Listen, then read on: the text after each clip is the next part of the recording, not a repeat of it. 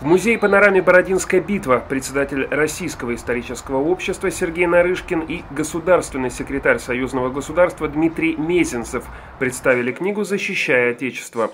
Она посвящена ратным подвигам Брестского, Витебского, Минского, Могилевского и Полоцкого полков Российской императорской армии в ходе Отечественной войны 1812 года. Память об Отечественной войне 1812 года объединяет нас с братским белорусским народом.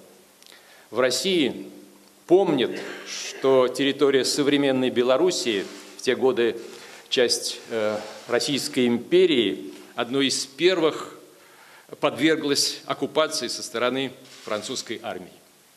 Белорусское крестьянство ответило на агрессию масштабным партизанским движением. Огромный размах приобрело народно-освободительное движение в Минской, Витебской, Могилевской и других губерниях. Убежден, что этот качественный исторический э, труд найдет своих читателей в обеих частях союзного государства и в Белоруссии, и в России. Книга «Защищая Отечество» подготовлена по инициативе министров иностранных дел России и Беларуси Сергея Лаврова и Владимира Макея. В презентации приняли участие представители МИДов двух стран, военные, курсанты, историки. Сегодня мы открываем новый проект «Библиотека союзного государства».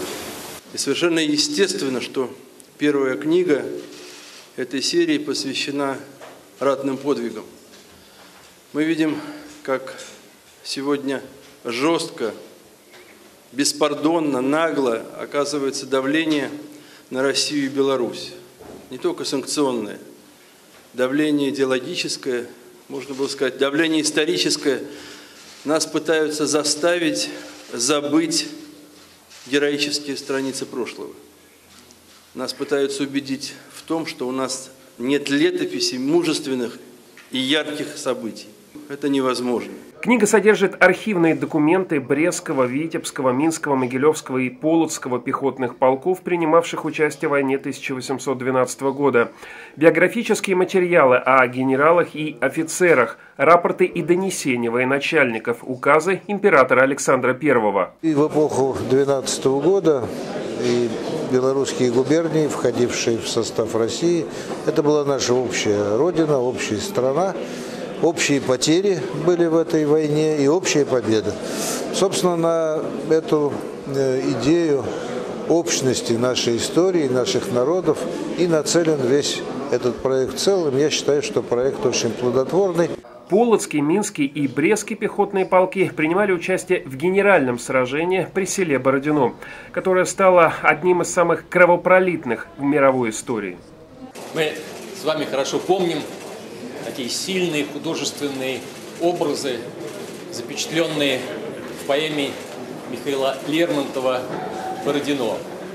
Они позволяют нам э, сквозь века ощутить э, мощный патриотический порыв, охвативший русскую армию перед Бородинским сражением, э, почувствовать э, тот непоколебимый решительный настрой солдат, офицеров сделать все, любой ценой остановить врага под Москвой, а если нужно, отдать свою жизнь за победу в Отечественной войне, отдать жизнь за Родину.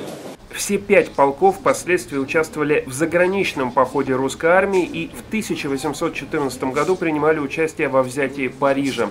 Как свидетельствовал один из участников похода, Константин Батюшков, раненые русские солдаты поздравляли друг друга словами «Слава Богу, мы увидели Париж» с шпагой в руках. Служба информации фонда «История Отечества».